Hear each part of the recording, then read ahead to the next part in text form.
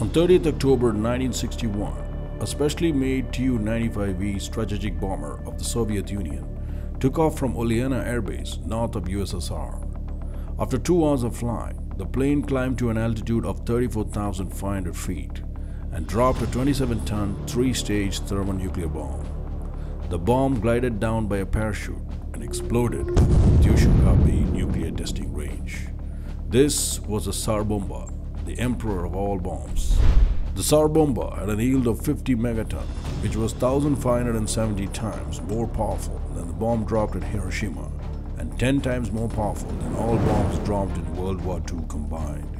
In this video, we will explain the design of the Tsar Bomba and its characteristics. We will then use the detail to see what will happen if Tsar Bomba is to be detonated near India.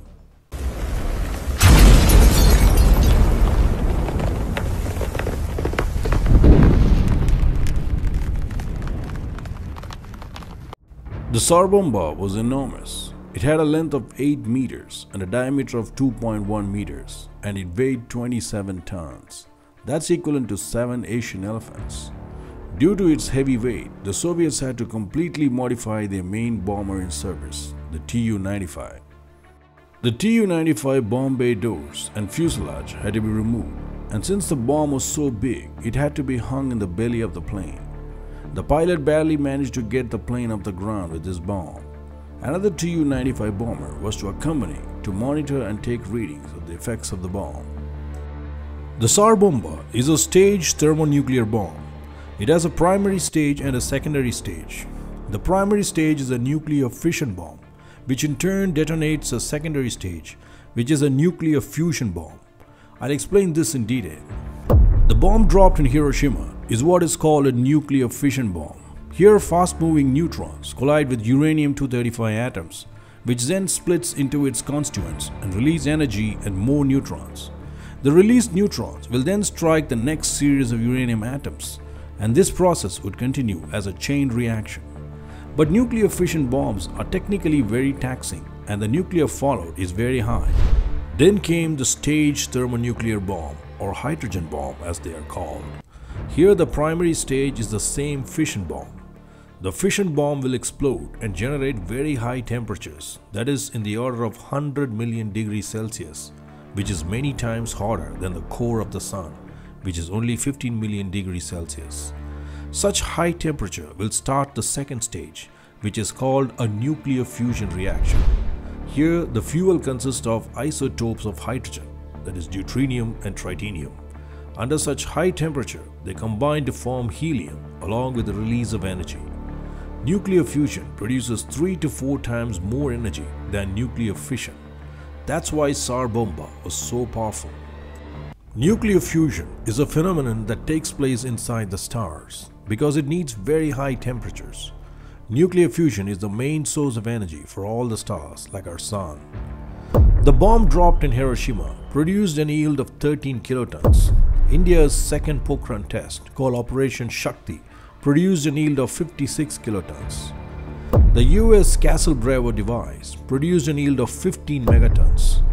The Tsar Bomba produced a net yield of 50 megatons. Tsar Bomba remains the biggest bomb to be tested by mankind. The Soviets actually wanted the Tsar Bomba to be 100 megatons, but they soon realized two problems with such a powerful bomb. Firstly, the bomber dropping the bomb will not be able to safely come back after detonation. Secondly, beyond 50 megatons, most of the bomb's power that is released actually escapes to space, so nukes beyond 50 megaton is useless. So on October 30th, 1961, a specially made Tu-95V flown by test pilot Major Andrei Yegorovich Durnovtsev, along with its observer plane, took off from Olenya Air Base north of USSR. After two hours of flying, the plane at an altitude of 34,500 feet dropped the Tsar Bomba. To slow down the descent, a parachute was inflated. This helped the bomber and its crew to escape to a safe distance. As it descended, the Tsar Bomba's radar constantly measured the altitude, and when it reached 4 kilometers from the ground, it detonated. The nuclear mushroom cloud rose to a height of 67 kilometers and was observed 850 kilometers from the blast. The fireball was visible at a distance of more than 1000 kilometers and was observed in Norway, Greenland, and Alaska.